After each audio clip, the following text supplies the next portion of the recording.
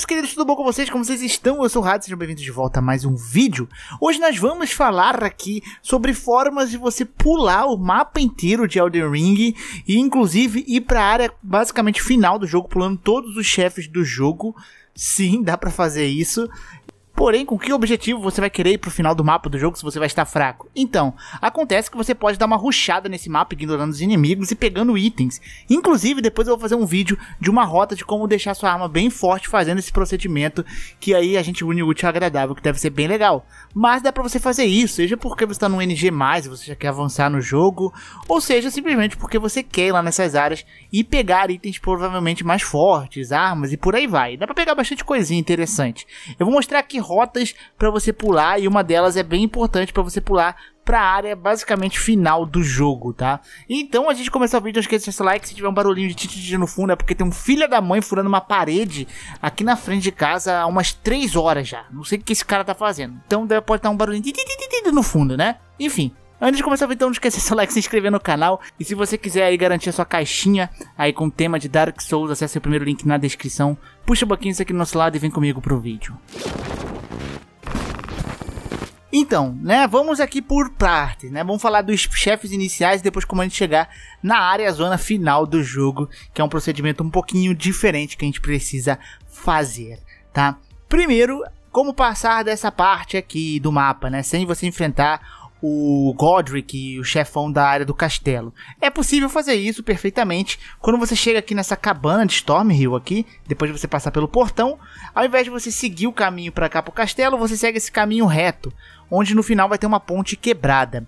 Porém, no final dessa ponte quebrada aqui, vai ter uns pedregulhos onde você pode cair com seu personagem e você vai adentrar tipo uma, um corredorzinho de floresta estreito, onde você vai sair lá nos lagos de Liurnia, o segundo mapa do jogo, totalmente ignorando o primeiro boss.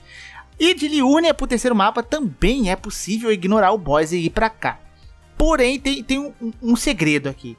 Se você, né, a sua ideia é vir logo para a cidade, por exemplo, você não vai conseguir pulando esses chefes, porque aqui na entrada da cidade, a não ser que tenha um método que eu não conheça, mas aqui da entrada da cidade vai ter uma barreira falando que você precisa de grandes runas.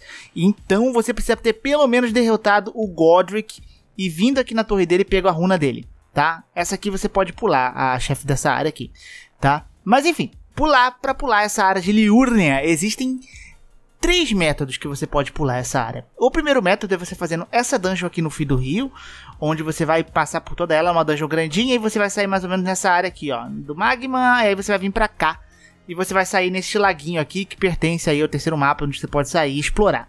Tá? Porém, você tem que passar por uma dungeon e enfrentar um boss meio grandinho aqui dessa área. A segunda forma é você usando esse elevador de Dectus. Para isso, você vai precisar e em dois locais. Você vai precisar explorar este Forte Height aqui e este Forte Farote aqui no sul de no leste de Kailith, né? Então você vai ter que explorar esses dois fortes, onde você vai pegar cada pedaço do medalhão, e aí você consegue passar e avançar para essa área. Para mim, na minha opinião, é o caminho mais fácil, porque você vai sair aqui e você já vai acender essa fogueira que fica aqui do lado da ponte da entrada da cidade, onde tem duas, duas sentinelas aqui, dois boss grandes de sentinelas, você pode ignorar eles e fugir, tá? E você acessa esses perfumes aqui, a grota do, do perfumador, algo assim. E ativa bonfire aqui, não precisa explorar isso aqui não, vai ser importante depois, tá? Então você pode fazer isso.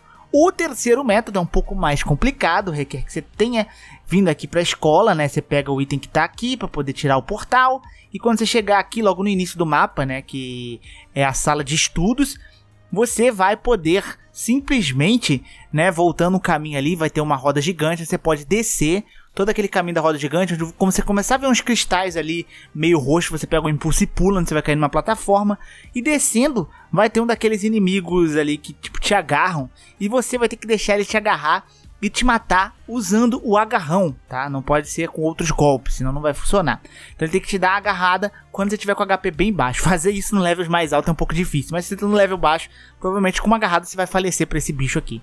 Tá? E aí, você fazendo isso, você meio que vai ser sequestrado a la Bloodborne, você vai ser jogado dentro do mapa da mansão Vulcano. E isso é bem legal porque Primeiro, tu pode pegar itens interessantes ali, até uma arte ali, da, umas cinzas da guerra, que duplica o seu dano, que é aquele vídeo que eu comentei, inclusive. Tem como você pegar por aqui indo caminho reto quando você descer. Tá? Pode ativar bonfires aqui. Você pode dar uma ruxada nessa área, dar uma explorada. Tem pedras aí de upgrade de arma, por exemplo, 5 e 6 para quem tá procurando, tá? Então, tem ali algumas pedrinhas de upgrades. Enfim, e aí você pode passar por essa área, você vai enfrentar dois bosses, bosses duplos, que são duas máquinas dessa, inclusive.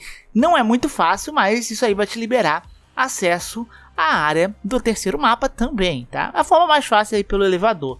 Mas eu recomendo você explorar a Mansão Vulcano até os limites que der, sem precisar enfrentar nenhum boss. Pode valer a pena para você, tá? Beleza, a gente chegou aqui, blá blá blá, né? A gente ativou. E daqui, né, depois da cidade, tem os mapas aqui avançados que você segue. Esses mapas, a cidade, isso aqui, tudo dá pra gente ignorar. Pois é, olha que interessante.